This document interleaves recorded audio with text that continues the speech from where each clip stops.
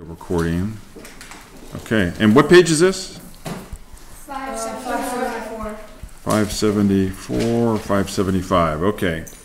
So uh, it says using ordered pairs to solve problems, chapter 14, section 3. So it says both Ann and Bill earn the same amount each week.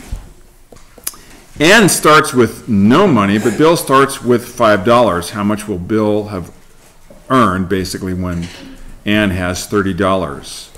and it says represent the situation using a table and graph. So again, I'm going to write a paragraph or two um, sometime today and pick a couple of you, and it'll be a situation kind of similar to this. But the difference is, in this example we're looking at, they both earn the same amount each week, which is what looks like it's $5 each week. In my example, the two students will earn different amounts and will start at different amounts. So it says, make a table showing how much money Ann and Bill have earned each week. And so here's the table, which is a good example of that. It says Ann's earnings. Remember, she started at zero. and then, um, is it, uh, let's see here, is it $5 a week? Three, let Ann's earnings, let X be Ann's earnings and Y be Bill's earnings. And it says plot the ordered pairs from the table draw a line to show the pattern. So I, I copied it and moved it, moved it over so it's a little bit bigger on our screen here. So Ann starts at zero and um, so she would start, let's see here. Let me do this. Ann's earnings, let X be Ann's earnings. So I'm gonna do this right here. And I'm gonna do this right here. And then it says let Bill's earnings be Y. And so this would be Bill's earnings. Then it says plot the ordered pairs from the table and draw a line to show the pattern. So the first coordinate pair would be 0, 5. And you can see it right there. X is 0, Y is 5. The second ordered pair uh, looks like it's week 1, the very first week. Um, X is, X looks like it's 3, and Y is 8. So it would be right about there, because these are in increments of five. Right about there and right about there. And then um, week two at six and 11. So this would be week two here, just past the five, six, and just past the 10 would be 11 right there. And so you can see it's linear. In other words, it doesn't curve at all. Comes, I don't think in sixth grade, but come seventh grade, you guys will be doing graphs where the lines change, where they're not straight. Right now, this is linear and, and, and pretty simple graphs. So it says, um, plot the ordered pairs from the table, draw a line to show the pattern. Extend your line to the point where the x coordinate is 30 and the corresponding y coordinate is 35. So here's 30, and the corresponding y coordinate is 35. Okay, and so um, if you were to to give the coordinate pair, it would be 30, comma 35. So Bill has $35 when Ann has $30. Remember, the first coordinate is always x, and the second coordinate is always y. All right. Um, it says, what's the relationship between Bill's earnings and Ann's earnings? Well, if you don't see it, let me just tell you, Bill always has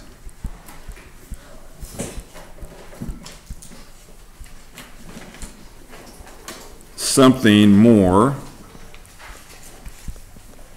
than Ann.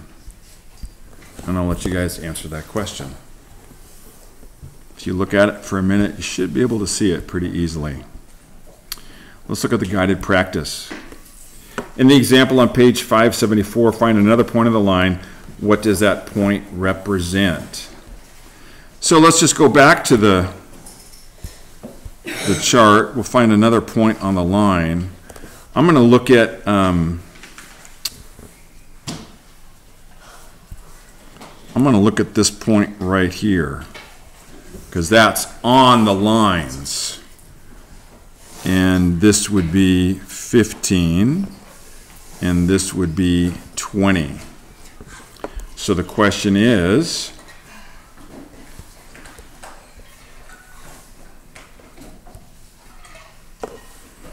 uh, what does, um, what does the point or points represent? So um, 15 is x, so I'll just put 15 comma 20. 15 equals Ann's money, and 20 equals, what's the other one's name? Bill's earnings or money.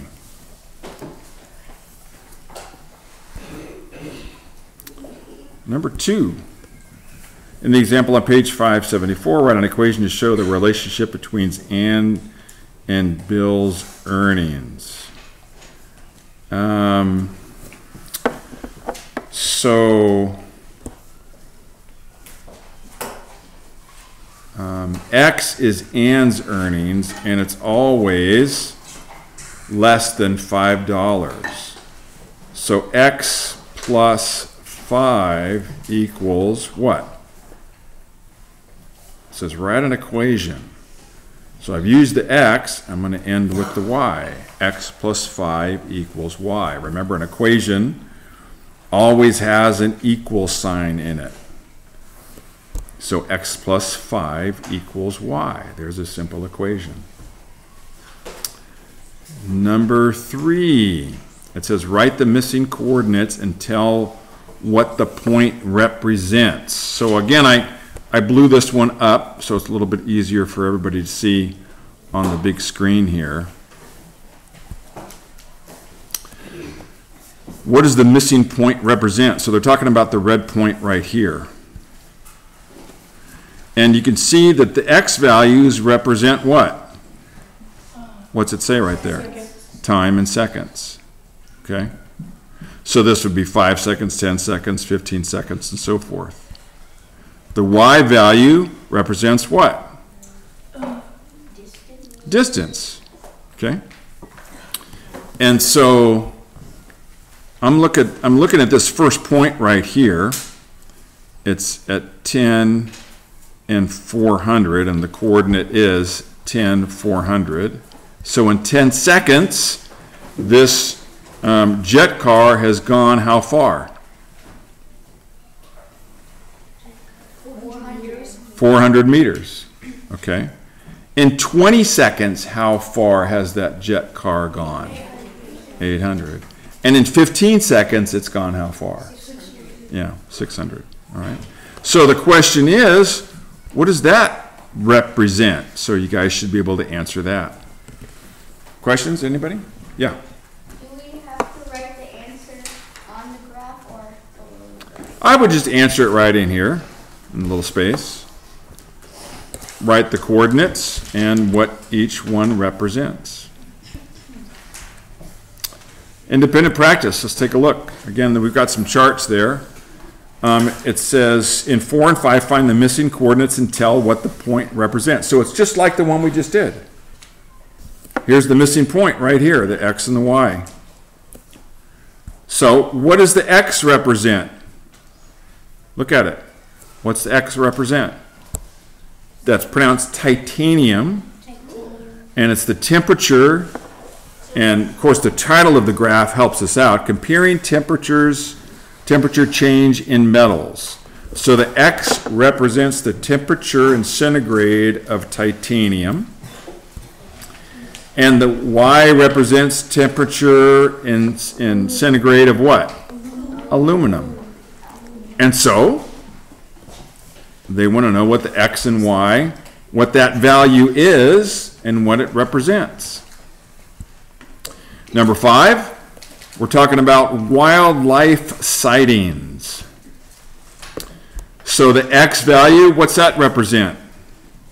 Deer. Deer, the number of deer that were spotted in a certain area. What's the Y represent? Elk, okay. And then there's a missing value right here. They want to know what it is and what each one represents. Pretty easy. Um, for exercise five, it says find two other points on the line. I'm just going to say uh, find one. Everybody scratch out the two and put one.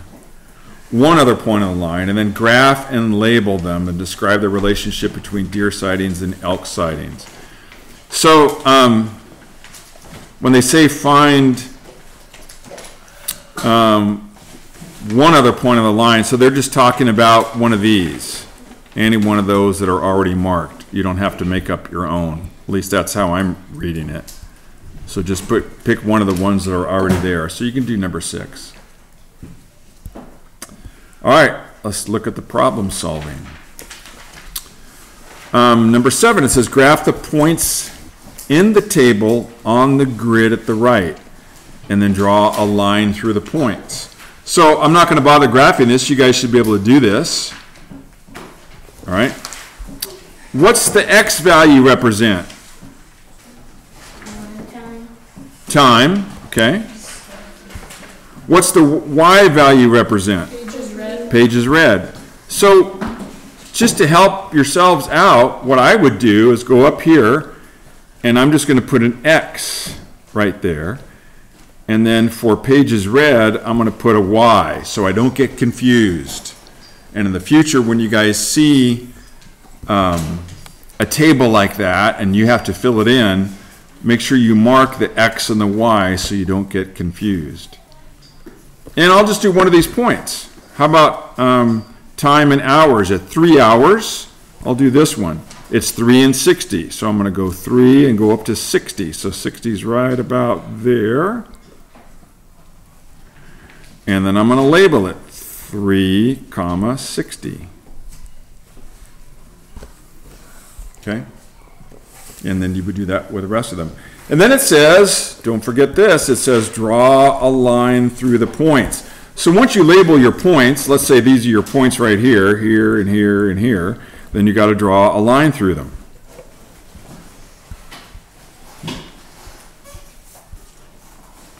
Okay, number nine. Number nine says, suppose you can, uh, you have a graph of speed that shows a lion can run four times as fast as a squirrel.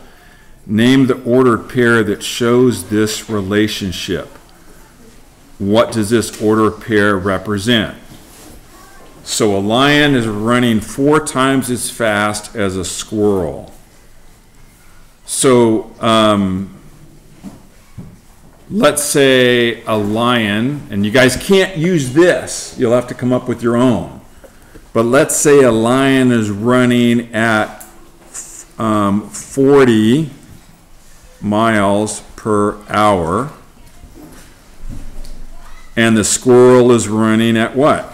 10 miles per hour. Okay, that would be the ordered pair. Or you might have put 10 and 40. I mean, it doesn't, for this example, it doesn't really matter which comes first and which is second. So you can't use 10 and 40. You can't use that. You come up with your own. And then it says, what does the ordered pair represent?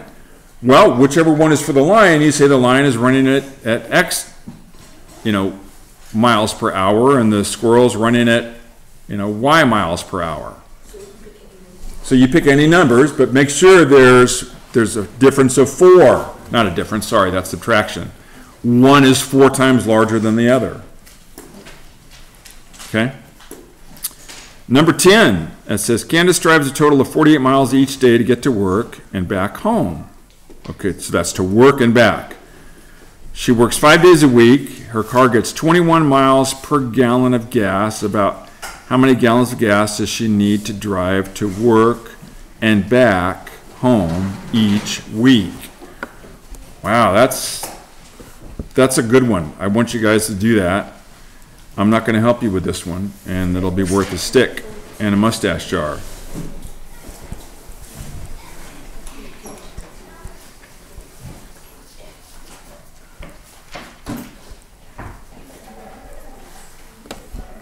Okay.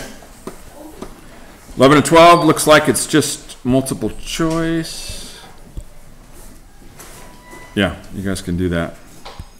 Questions on any of these, you guys? No questions? No? Okay. Okay, have at it.